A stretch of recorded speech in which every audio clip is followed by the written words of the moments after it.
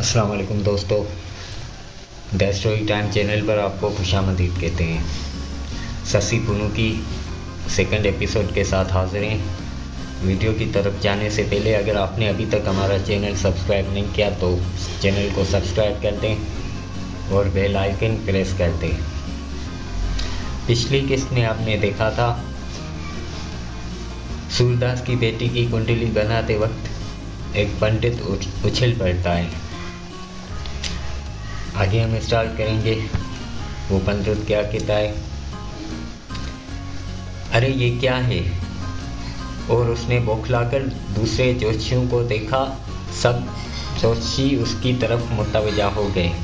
क्या हुआ कोई? खास बात मालूम हुई है तुम्हें? एक पंडित ने उससे पूछा। हाँ हाँ एक बात, एक बुरी खबर। ज्योतिषी कहते कहते चुप हो गया। बुरी खबर? बुरी खबर की आवाज़ सूरदास के कानों तक भी पहुँची। उसकी देवी ने सुना, मगर खामोश रही। सूरदास बेचैन हो गया। उसने चीख के पूछा, क्या बुरी खबर है मेरी बेटी के बारे में? पहले जोशी ने कुछ बताने के बजाय आहिस्ता से कहा, महाराज सूरदास, जल्दी ना कीजिए। हमें पूरा हिसाब लगाने दीजिए। इस तरह वो सूरदास को खामोश करा के दूसरे जोशियों से आहिस्ता आहिस्ता बातें करने लगा। फिर उसने अपना हिसाब लगाया, कागज़ दूसरे जोशियों को दिखाया। उन लोगों ने अपने तैयार किए हुए जायचे और हिसाब देखे और बड़े बेसों मुबासे के बाद वो इस नतीजे पर पहुँचे कि पहले ज्योतिषी की तैयार की हुई जन्म पुत्री दुरुस्त है और उसके हिसाब व किताब में कोई गड़बड़ नहीं है। इस जायचे के मुताबिक सबने अपने अपने जायचे के जायचे दुरुस्त किए। फिर पहले ज्योतिषी से कहा, वो नौमूलूद बच्ची के इस वाक्य को बयान कर दे जिसने सबको परेशान कर दिया है। सुनिए सूरदास और देवी जी, पहले जोशी ने वाज अल्फाज और आवाज़ में कहा।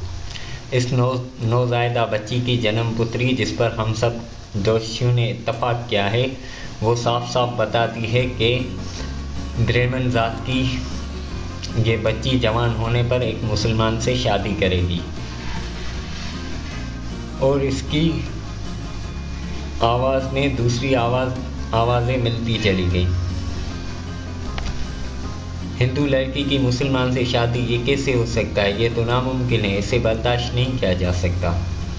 ये कैसे हो सकता है कि इतने बड़े ब्रेमन और ऐसी पाकबाज देवी की शादी गैर ज़ात और गैर मज़हब में हो? इससे हमारा मज़हब बसनम हो जाएगा। ऐसी लड़की को फ़ौर ख़त्म कर देना चाहिए। हाँ इसका गला दबा दिया जाए। धर्म पे कुर्बान कर देना चाहिए इसे। ये आवाज़ तेज़ शोर बढ़ता ही गया और इस कदर तेज़ी आ गई कि कोई आवाज़ साफ़ सुनाई ना देती थी। सूरदास और नौमलूद बच्ची की माँ देवी बिल्कुल खामोश थे। हालाँकि उनके दिलो दिमाग में एक तूफ़ान बरपा था, सूरदास की आँखें तो खुश थी, लेकिन देवी की आँखों में आँसू गिरने के लिए बेचैन नज़र आते थे। आखिर सूरदास की गरजदार आवाज़ बुलंद हुई और हर तरफ़ सन्नाटा छा गया। जोशी ने कहा, वो सब जोशियों का मुतफिका फैसला है इसे झुटलाया नहीं जा सकता। इसलिए कि हमारे जोशी आसानी, आसमानी देवताओं के, हम नहीं, बल्कि हमारे देवताओं के मानते हैं ये वही कहते हैं जो भगवान उन्हें बताता है। इनकी ज़बान भगवान की ज़बान है। ज्योतिषियों ने जन्म पुत्री से ये बात निकाली है कि जवान होने पर यह बच्ची, जिसने एक ब्राह्मण के घर में जन्म लिया है और एक पारसा देवी के शपम से पैदा हुई है। वो किसी मुसलमान से शादी करेगी। ये खबर ना सिर्फ़ मेरे लिए, बल्कि तमाम हिंदू कौम के लिए से शर्म है। धर्म के माथे पर कलंक का टीका है, और ये बच्ची दीन धर्म के लिए मनहूस है। सूरदास के ठहर, सूरदास ने ठहर के सांस ली और फिर बोलना शुरू कर दिया। इस खबर के सुनने के साथ ही मुझे उस लड़की से जो मोहब्बत बहसीत एक बात के पैदा हुई थी, वो ख़त्म हो गई है और इसकी जगह नफरत ने ले ली है।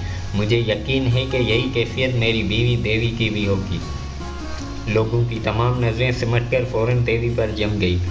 देवी ने जो खुद को लोगों की नज़रों से गुरता पाया तो अशपर आँखों के साथ सर हिलाकर अपने शोहर की बात की तस्दीक की। इस वक्त लोगों की आवाज़ों का गुलगुला उठा। देवी सूरदास की बात की तस्दीक कर रही है। सूरदास ने फ़ौरन बात आगे बढ़ाई। ये तो तय है कि इस ल... इस लड़की की परवरिश मेरे घर में नहीं हो सकती। ये भी ठीक है कि एक, ये मनुष्य लड़की है, ज़िंदा रहने का हक छीन लेना चाहिए। मुझे इस पर कोई एतराज़ नहीं, लेकिन हमारा राजा बादशाह आतम जाने, जो एक मुसलमान है। अगर हमने बच्ची का गला दबाकर या किसी और तरह से मार डाला और बात खुल गई तो हम सब की शामत आ जाएगी। इसीलिए इस सिलसिले में ऐसी तदबीर की जाए कि सांप भी मर जाए और लाठी भी ना टूटे। एक और ज्ञानी दानश्वर ने कुछ माकूल मशवरा दिया।